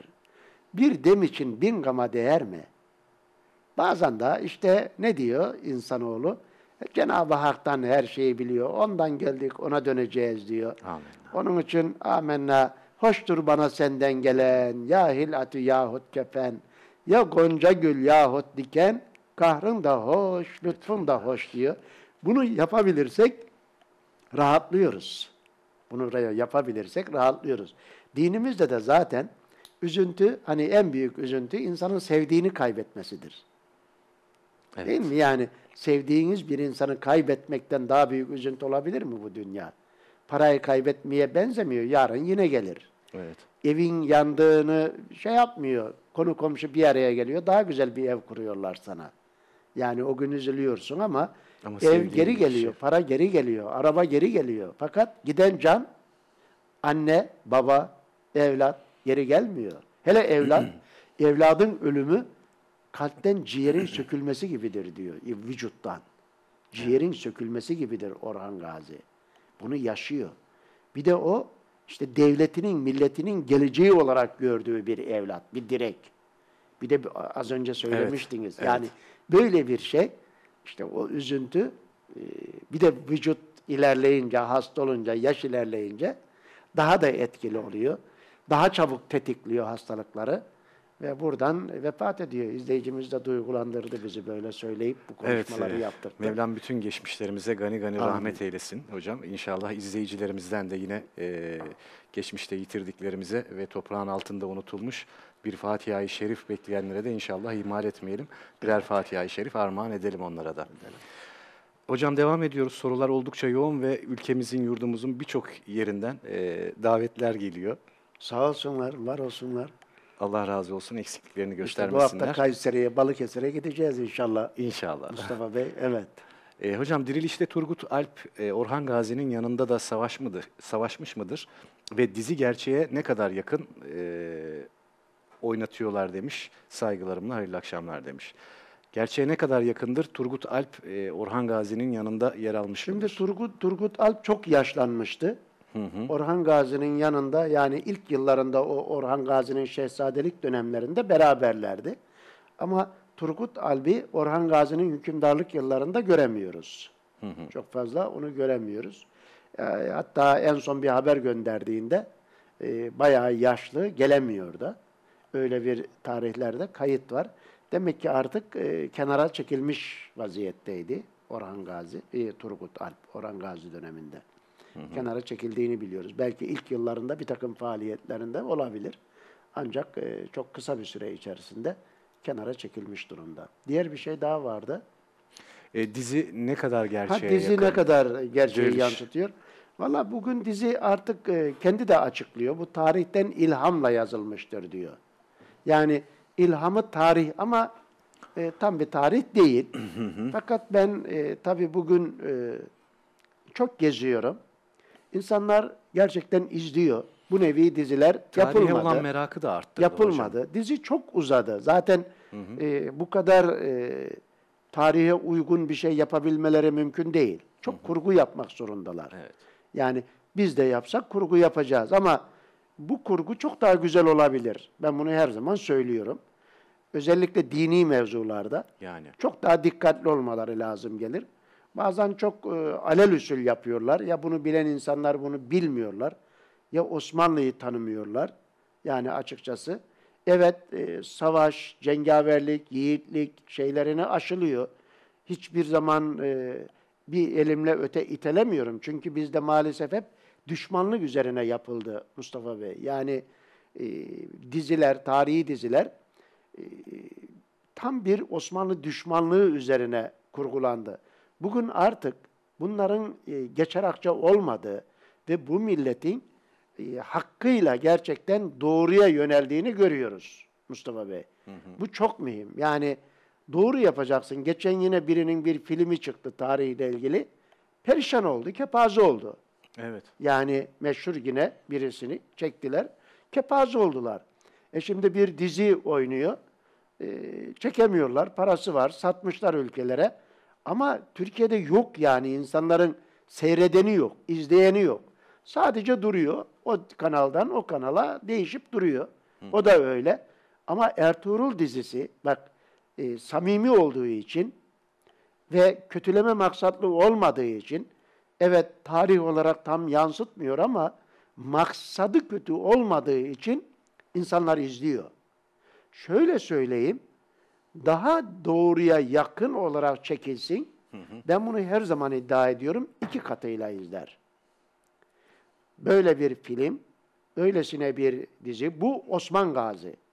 Bu Orhan Gazi. Bu Yavuz Sultan Selim. Bu gerçek Fatih'tir olduğu an ben her zaman söylüyorum.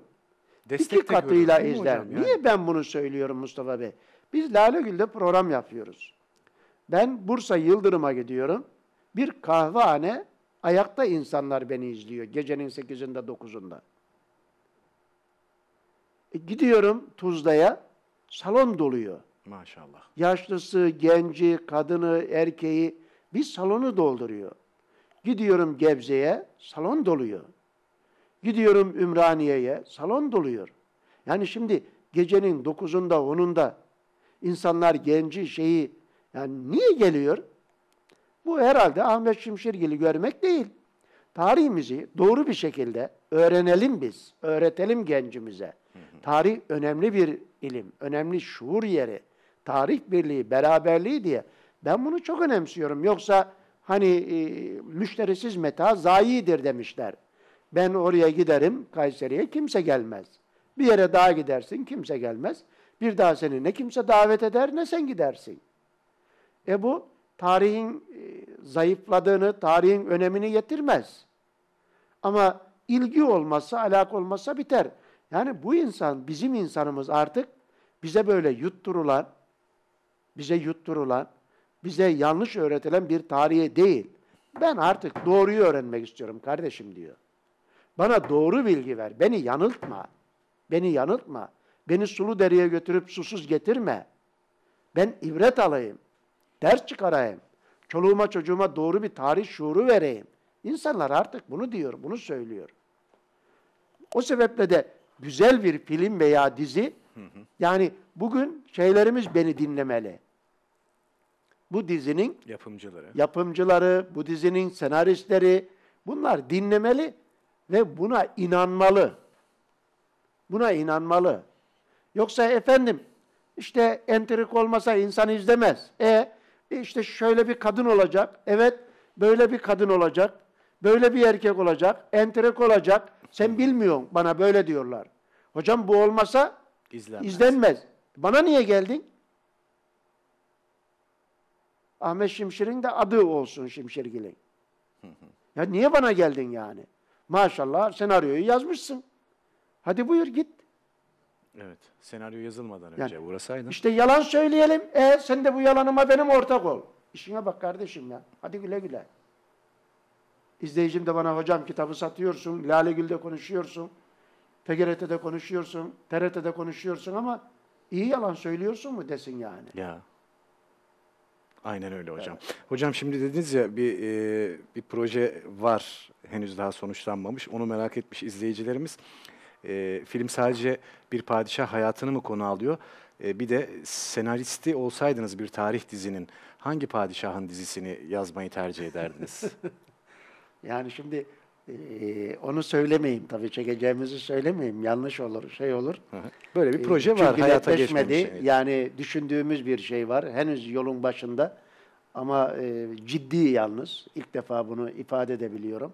İnşallah eee, netleşir çünkü kolay bir şey değil. Çok ciddi bir şeyde bizim hani bize eee, birileri ya kardeşim yapın bu işi. Gel Ahmet Hoca bu kadar söylüyorsun. Arkandayız yanındayız.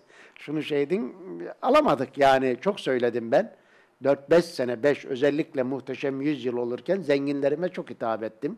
Zenginlere çok bağırdım çok yumrukladım. Sine Evet. 5'te masaları yumrukladım. Gelin dedim sadece bir şeyi tenkit etmek değil bir şeyler yapalım. Yani bunun ben tarih danışmanlığını, her türlü senaryosunu, her türlü yardıma hazırım. Ve inanıyorum bunun çok süper bir şey olacağına. Mesela çok basit bir şey söyleyeyim ben. Fatih'in mesela İstanbul'un fethi çıktı. Hı hı, Ben 1453. 19 yaşından önce 12 yaşındaki bir çocuk Fatih'in filmini yapmak isterim. Daha çocukken. Çocukken çünkü babası ona tahta çıkardı. Müthiş bir senaryodur bu. Evet. Müthiş bir senaryo. 12 yaşında bir padişah Mustafa Bey. Yani Evet. Varna Savaşı'nda o çocuk tahta oturuyor. Varna Savaşı'nda. Düşünebiliyor musun? Savaş dersen var. Babasıyla mücadele var. Devlet adamlarıyla mücadele var. 12 yaşında bir genç düşün ya Mustafa Bey. Yani 12 yaş. Daha yeni akıl bali olmuş. Evet. Mesela ben şimdi hani fethi çekeyim desem bu kötü bir şey oldu ama çekildi. Yani aradan bir 15-20 sene daha geçmesi lazım. Fakat o çocuk padişahı bir şey olsa mesela ikinci çekeceğim film Timurhan. Çekmek isterim Timurhan'ı bir yönleriyle. O kadar çok konu, o kadar senaryo var ki ya hocam. biz yani de bitmez. zaten bir film çekebilsem Mustafa Bey Değil mi? Arkası gücüm de gelir. yeterse o ekibe o bir filmle ben 100 film çekeceğimi garanti de ederim. İnşallah hocam. İnşallah. Peki. Değerli izleyenlerimiz, e, ikinci bölümün sonuna geldik. Üçüncü bölümde yine Orhan Gazi'yi konuşacağız. Vefatı ve önemli gelişmeleri inşallah sizlerle paylaşacağız. Bizden bir yere ayrılmayın.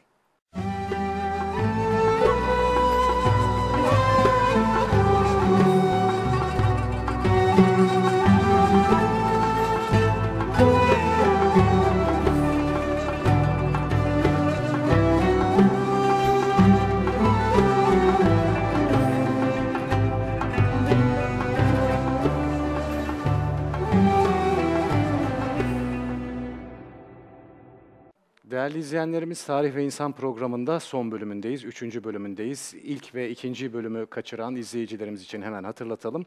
E, bu hafta e, Orhan Gazi'yi konuşuyoruz. Onun şahsiyeti, katıldığı fetihleri konuştuk. Sizlerden gelen soruları yine Profesör Doktor Ahmet Şimşirgil hocamıza sorduk ikinci bölümde ve üçüncü bölümde kalan birkaç tane sorumuz var. Onları ileteceğim. Sonrasında Orhan Gazi'ye devam edeceğiz. Hocam, e, gerçi bu da çok sıkça sorulan bir sorulardan. E, yüce devlet tasavvuru son zamanlarda da tekrardan oluşmaya başladı mı demiş izleyicilerimiz. Şimdi e, başladı diye ifade edebilirim. Niye edebilirim? E, Orhan Gazi'nin o e, şey e, Alaaddin Bey'le Orhan Bey'in anlaşmaları devletin birlik ve beraberliği içinde. E, daha önceden bölünüyor, parçalanıyor, yok oluyordu. E, Bilge Kağan'ın mesela bölünmemek, parçalanmamak, dağılmamak için o müthiş, muazzam nasihatleri ve Türk ülkesine çağrıları vardır. Mesela Bilge Kağan böyle biridir. Osmanlılar kuruluştan itibaren böyledir. E bizde de muhalefet, iktidar bugüne kadar hiçbir araya gelemedi. 15 Temmuz belki de bu noktada bir milat olacaktır. Ben 15 Temmuz'un eğer çok iyi değerlendirilebilirse büyük bir milat olacağı, bir dönüşüm olacağını düşüncesindeyim. Ve bunun adımlarını görüyoruz. Mesela en önemli adımını bugün muhalefetimizin çok önemli bir e, partisi MHP ile e, e, Türkiye'nin 14 yıldır gelişiminde büyük katkı sağlayan, 14 yıldır idaresinde olan, 14 yıldır müthiş bir tecrübe edinen AK Parti'nin bir arada birlikteliği ve bunu göstermiş olması, bunu uygulamış olması, bu milletin artık e, asgari önemli noktalarda beraber adım atabileceklerini, güç sağlayabileceklerini çok mühim bir göstergesi oldu. İnşallah bunlar daimi olur. İnşallah. Bu çok önemli bir adımdır, bir milattır. Çünkü tersi durumunda maazallah ne ülke, ne din, ne millet, ne bayrak, ne ezan hiçbir şey kalmayabilirdi. Bunu söylüyoruz her zaman Mustafa Bey. Onun için izleyicimiz e, güzel noktaya değinmiş. Gerçekten e, ben e, bu tasavvurun oluşacağını, bu tasavvur oluşursa dünya yeni gelişmelere hazırlansın diye ifade edebilirim. Evet. e, hocam bir e, sorumuz daha var. O da yine sıkça sorulan sorular arasında.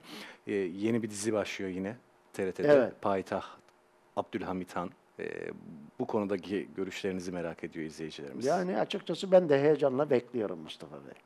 Henüz daha bir şey yok ortada. Yok, ben de henüz hiçbir bilgim yok. Evet. Heyecanla bekliyorum e, izleyicimiz gibi. İnşallah güzel bir çalışma olur o da. Çünkü Abdülhamit Han, Abdülhamit Han e, bu ülkenin e, en iyi yetiştirdiği değerlerden, dahi devlet adamlarından birisi. Anlaşılamadı, anlaşılamadı, anlatılamadı, Evet. bilinemedi. Dolayısıyla e, dizi uzun soluklu bir dizi insan e, güzel bir program olmasını, güzel bir dizi olmasını arzu ediyor. E, İnşallah beklendiği gibi olur. Beklentilere cevap verir. Ve Abdülhamit Han çünkü dizinin kendine özgü müthiş bir gücü var. Hı hı. Ee, inşallah güzel olacaktır diye düşünüyorum. Olmalıdır da. Evet. Çünkü neticede TRT buna sahip çıktı. TRT'de yayınlanıyor. Bu önemli bir husus. Evet. Hocam şimdi Orhan Gazi'ye geçelim ve e, alimlere olan hürmetini bir de e, Geyikli ile olan bir münasebeti var. Ha, Geyikli Baba ile evet. Şimdi o, e, Osmanlılar e, hani e, şu e, bakış hep devam edecektir Mustafa Bey. Şeyh Edevalı ile Osman Gazi arasında er, özür dilerim e, Ertuğrul Gazi ile Osman Gazi arasındaki bir söz bu.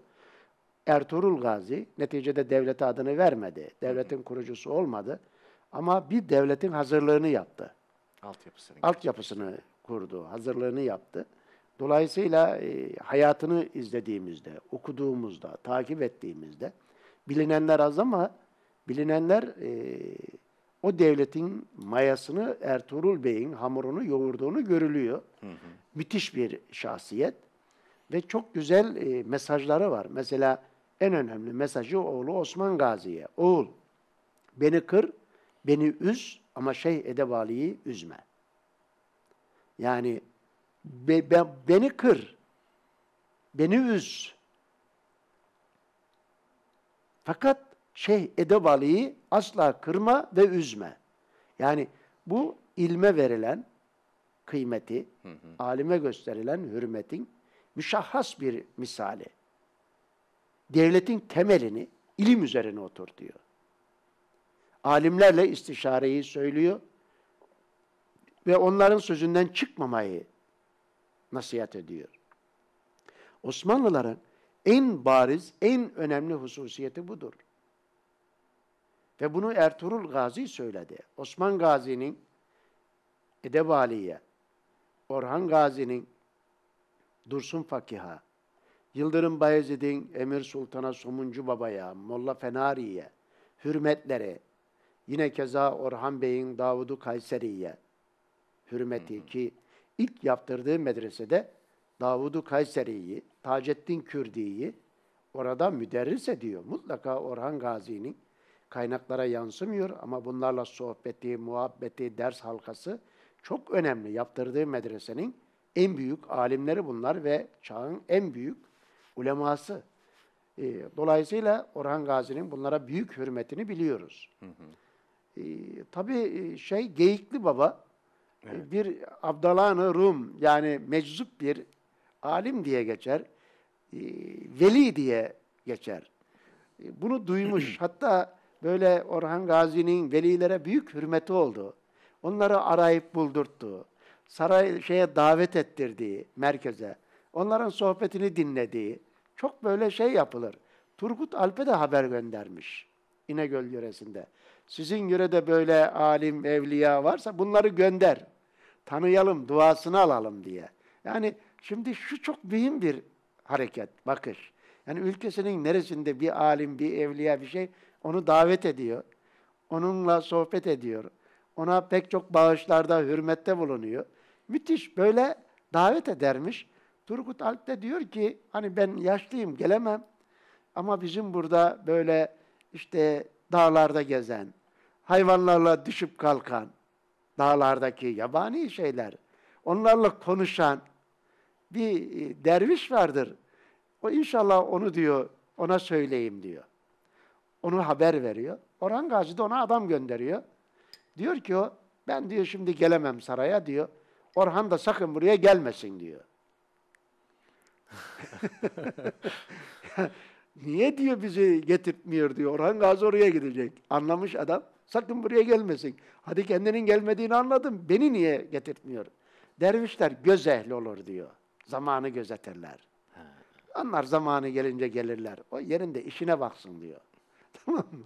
Zahmet etmesin. Bir gün Orhan Gazi'ye diyorlar ki birisi büyük bir ağaçla geldi sarayın bahçesine ağaç dikiyor. Bir derviş. Orhan Gazi hemen gidiyor, koşuyor, bakıyor. Geyikli baba. Ondan sonra Geyikli babaya işte ne yap? Geyikli baba öyle bir çınar dikiyorum ki buraya diyor. O devletin durdukça o da duracak. Ve inşallah devletin gibi bu yüceldikçe devletin de yücelecek diyor. Bir ulu çınar olacak diyor onu. Ve dua ediyor devletine. Ee, Orhan Gazi dualar istiyor. O dualar yapıyor. Ve e, Orhan Gazi ona İnegöl ve çevresi senin olsun diyor. Bütün gelirleri. Yok e, hünkârım diyor. Dervişlere diyor. Onlar gerekmez. Sen diyor onları ihtiyacı olanlara ver diyor. E, bana ne şey nasihat edersin denildiğinde e, ona sen e, iş, işi diyor ehline ver. Her işi kendin adil davran, adil hareket et ve işleri de diyor ehline ver. Oraları ehil insanlarına ver. Ona göre devletin yücelsin. Ee, Böyle çok güzel kendisine nasihatler yapıyor ve Orhan Gazi güçlükle çok küçük bir yerin gelirini ona verebiliyor.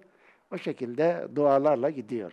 Böyle de bir e, hadisesi vardır. Evet. Hani e, Çınar devleti deriz ya, Evet. sanki Geyikli Baba'nın diktiği çınar gibi. E, orada alimlerin, velilerin duaları ve gözyaşları var Osmanlı Devleti'nin temelinde. Ve padişahların onlara büyük hürmeti var. Hep bunu görebiliyoruz e, Mustafa Bey. Evet. Hocam e, son dakikalara doğru yaklaşıyoruz. Lakin e, son zamanları işte vefatı, oğlu Murat Hüdaven, Hüdavendiyar'a bir vasiyeti ya, var. Murat Hüdavendigar'a okuyalım onu Mustafa Aynen Bey. onu bir Güzel bir inşallah. vasiyeti var. Az önce vefatını anlattık zaten. Hı hı, Ee, üzüntünün, kederin yapmış olduğu i- izleyicimiz zaten e, izleyicilerimiz Orhan Gazi ile ilgili güzel sorular sordular. Epey bahsettik. Ama şu çok güzel, zamanımız el verdiği ölçüde Buyurun okuyayım hocam ben. tabii ki. Ee, tabii rahatsızlanıyor, hastalanıyor. Orhan Gazi'yi davet ediyor, onu orduların başına getiriyor. Vefatından önce de yine çağırıyor Orhan Gazi'yi. Ve öyle güzel nasihatler ediyor ki, şu nasihatler işte, yani şu nasihatler yeter bir insana. Ey bağlarımın tatlı meyvesi olan oğul, saltanatına mağrur olma. Bak ilk şey sakın gurura kapılma, kibre kapılma. Sana bir saltanat geliyor. Bununla mağrur olma. Unutma ki dünya Hazreti Süleyman'a kalmamıştır. Ya. Bana kalmadı. Bak ben gidiyorum. Sana da kalmayacak. Unutma. Unutma ki dünya saltanatı geçicidir. Ahiret saltanatı gibi değil burası. Geçicidir. Lakin büyük fırsattır. Allah yolunda hizmet ve Peygamberimizin aleyhisselam şefaatine mazhariyet için bu fırsatı iyi değerlendir. Sana bir fırsat geliyor. Bu bir fırsattır. Bunu Allah yolunda hizmet, Peygamberimizin de şefaatine mazhar olabilmek için değerlendir. Bak fırsatı nerede değerlendirecek? Dünyaya ahiret ölçüsüyle bakarsan ebedi saadeti feda etmeye değmediğini göreceksin. Dünyaya ahiret ölçüsüyle bakarsan. Demek ki bu dünyaya bir ölçüyle bakacaksın. Hangi ölçü? Ahiret ölçüsü. E, ahiret ebedi, ebedi bir saadete geçici bir şey değiştirilir mi? Mümkün mü? Oğul, gözün daima dini yüceltmede olsun. Gözün dini yüceltmede, yükseltmede olsun. Resulullah'ın yolunu yoldaş edin. Rehberini, dini İslamiyet'i iyi bilenler ve uygulayanlardan seç. Yani yanına aldığın rehberleri dini İslamiyet'i iyi bilenlerden ve sadece bilenlerden değil, uygulayanlardan seç. Sadece bilmek yetmiyor. Gücünü, kuvvetini cihat yolunda harca. Adını Gazi Murad olarak yazdır. Dinin desteği olan sancağımı dalgalandır. Kur'an-ı Kerim'in hükmünden ayrılma, adaletle hükmet. Gazileri gözet. Dine hizmet edenlere hizmeti şeref say. Dine hizmet edenlere hizmeti en büyük şeref say, şeref bil. Fakirleri do- doyur, zalimleri cezalandırmada tereddüt gösterme. Adaletin en kötüsü geç tecelli edenidir. Sonunda hüküm isabetli bile olsa geciken adalet zulümdür. Oğul biz yolun sonuna geldik. Sen daha başındasın. Cenabı Mevla saltanatını mübarek kılsın. Mustafa Bey bütün bir hayat tecrübesini şundan daha güzel ifade edebilir misin? 37 yıl saltanatta. Orhan Gazi 37 yıl saltanatta ve 37 cümle yok şurada. Müthiş bir şekilde bir tecrübenin ürününü şurada daha güzel şunu nasıl söyleyebilirsin bir devlet adamına? Orhan Gazi'nin hani bazen böyle asılıyor. Şu vasiyetin de işte şey Edevalı'nın vasiyetleri. Evet. Değil mi? Osman Gazi'nin vasiyeti.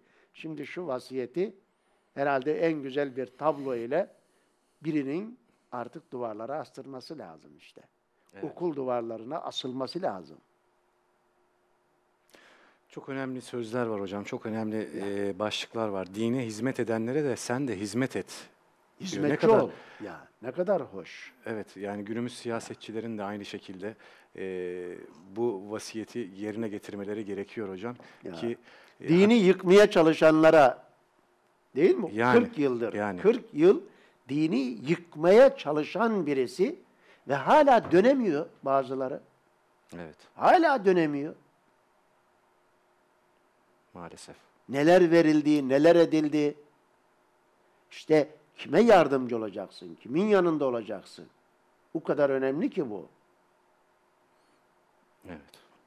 Amerika'nın, İsrail'in, bilmem neyin yücelttiği, büyüttüğü, beslediği, Türk'ü Müslümanı ezmek için gönderdiği bir adama işte bugün anlayacaksın yani. Nerede? Hala anlamıyor insanlar. Maalesef. Evet. Hocam e, Orhan Gazi'nin beş tane oğlu var. Değil mi? Evet. Süleyman, e, Murat, İbrahim, Halil, Kasım. Murat. Evet, beş tane. Zaten e, ikisi vefat etmişti. İkisi Kasım'la vefat Süleyman. etmişti. Kasım'la Süleyman vefat etti. E, Murat en büyükleri oldu. E, Şehzade Murad'ı işte yerine e, Aslında Süleyman Sü- vefat edince Evet, ha. e, Murad'ı seçti orduların başına. Sonradan İbrahim ve Halil muhtemelen ona isyan edecekler. Bak ilk isyanlar kardeşleri. Aslında öldürtmeyecek onları. Fakat isyan edince mecburen ortadan kaldırmak zorunda kalacak. Süleyman'daki gördüğü yeterliliği e, Kas şeyde mi görüyor? Murat Hüdavendigar'da mı görüyor Belki hocam? büyük oğlu olduğu için ama o yeterliliği de görüyor. Murat gerçekten çok iyi bir şehzade, çok iyi yetişmiş, çok güzel nasihatler ediyor kendisine, görüyoruz burada. Belki büyük olduğu için de, o anda en büyük olduğu için de çünkü yaşı hala öyle çok yüksek değil. Ee, Süleyman tabii onun yaşı daha ileriydi. İki büyük oğlu vefat etmiş oldu. Ee, Murat'ı seçmek durumunda kaldı. Evet. E, şey fiziksel özelliklerinden de isterseniz biraz bahsedelim hocam. Uzun boylu, sarışın, e, Sarışın, e, mavi göz. Mavi gözlü, e, geniş göğüslü Hı hı. e, kendisi. Muhteşem bir veraset sahibi. Evet, o zaten e, özel şeyleri. E, çok iyi silahşör, çok iyi ata biner, çok iyi ok kullanır, çok iyi kılıç kullanır. Savaşlara bizzat girer. Çok iyi bir siyaset erbabıdır. E, cihadı sever, devamlı cihatla meşgul olur 37 sene. Ki Marmara Havalisi'ni neredeyse Osmanlı'ya katmış oldu. İşte az önce söylediğimiz gibi alimlere hürmeti yüksektir. Dervişleri gözetir. Fakir fukaranın e, halleriyle çok ilgilenir. E, ilme büyük değer veren bir alimdir. Zamanında İznik'te, e, Bursa'da, e, İzmit'te çok medreseler yaptırdı, camiler yaptırdı. Yani şeyi e, imar faaliyetlerini bulunan hanlar, hamamlar, köprüler, çeşmeler yaptıran bir padişahtır. Hayır hizmetlerinde e, gerçekten yani sadece fetihlerle yürümez, bir taraftan hayır hizmetleriyle de meşgul olur. Vakıflar kurar. Kendisi bizzat e, şeyler dağıtır. Yani imarette yemekler dağıtan bir padişahtır. Hanımı e, Nilüfer Hatun e, Bursa'ya çok büyük eserler kazandırır. Yani onu bu konuda İsmi çok- de yine bir Bursa'da semt. Bursa'da işte bir Nilüfer. semtinde ismidir yani. Evet. Nilüfer semti var. Ee, kazandırmıştır. Orhan Gazi bütün bu yönleriyle gerçekten e, çok halkına müşfik, e, cihatta kahraman, gayretli, dini yaşamakta, hizmette büyük gayret ehli, e, gerçekten e, iyi bir padişahtır. Bütün bu özellikleriyle. Evet. Hocam e, çok teşekkür ediyoruz. Bu kıymetli, değerli bilgileri Biz teşekkür ediyoruz ya. Mustafa Bey var olun. paylaştınız. Allah razı olsun. E, hemen programımızın sonunda da hatırlatalım.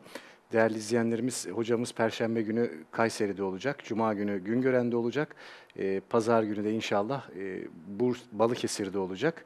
E, tüm e, sevenleriyle inşallah e, güzel, hoş hasbihaller edeceksiniz. İnşallah. Bizden de ayrıca çok çok selamlarımızı iletin hocam. Sağ olun Mustafa Bey, teşekkürler. Evet hemen e, söyleyelim. Üç nasipli izleyicimize yine hocamızın kaleminden çıkmış değerli kitapları armağan edece- edeceğimizi söylemiştik. E, hocamın özel olarak Mücahit Karasu'ya Bey'e e, bir kitap sözümüz Evet. var. Onu haftaya inşallah Mücahit Bey sizlere ulaştıracağız. Diğer üç kişinin ismini hemen hatır söylüyorum. Hilal Seher Arslan, Yalçın Kutlu, Suna Sansar. E, telefon marifetiyle kanalımıza ulaşıp iletişim ve adres bilgilerinizi verdiğiniz takdirde kapınıza kadar inşallah hediyemizi e, kabul buyurursunuz. Değerli izleyenlerimiz, yayında ve yapımda emeği geçen tüm ekip arkadaşlarım adına hayırlı akşamlar diler. Kendisine emanet edileni en iyi şekilde hıfzı muhafaza eden Yüce Rabbime emanet olunuz. Haftaya aynı gün aynı saatte görüşmek ümidiyle.